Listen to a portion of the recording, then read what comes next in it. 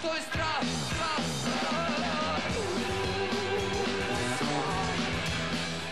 Evo ovdje je završio naš praktički zadnji razgovor između Johnny i mene. Ja izvadim gitaru, ili daj, mogu, mogu malo, rekao, pa Johnny, ali uopće znaš još više klasičnu gitaru svirat? Veli, pa probat ću, ne. I sad on počne svirat čakonu od Baha sa fingeringom na kojem bi mu i Andrej Segovija pokojni, jel, pozavidjao. To je bilo fantastično, jel. I počne se plakat, ne. Poteklo su mi suze, jel, Temšiku, ti to razumiješ, jel da, rekao, e, Johnny, razumijem.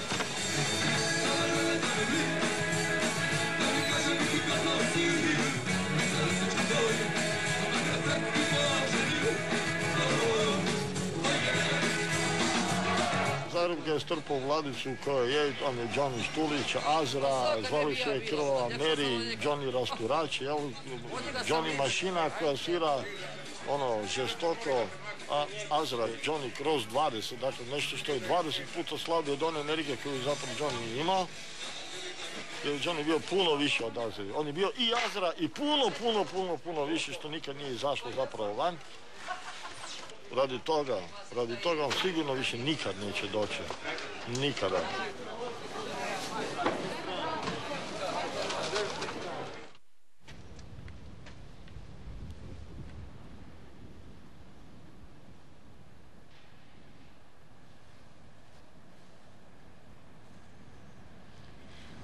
Ovo je Johnnyjeva najljepša pjesma.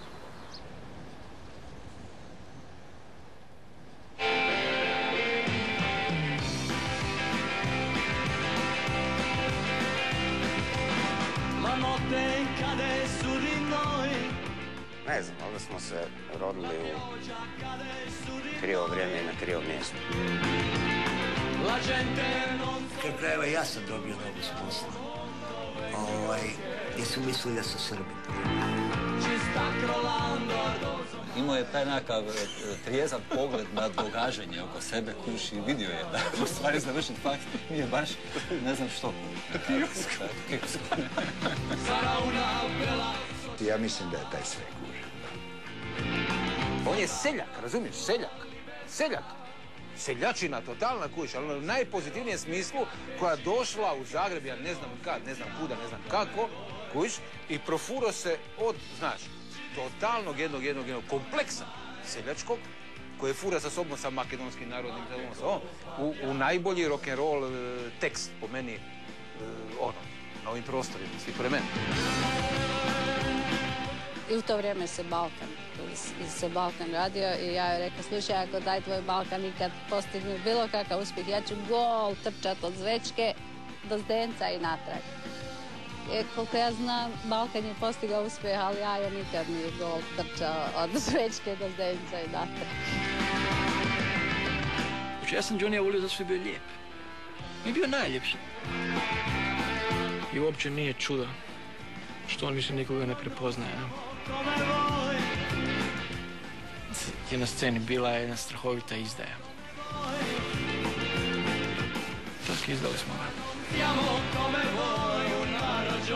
Kome oprosti? Gotovo. Gotovo.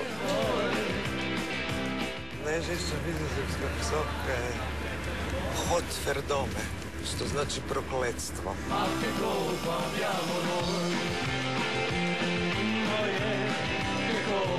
cambiamos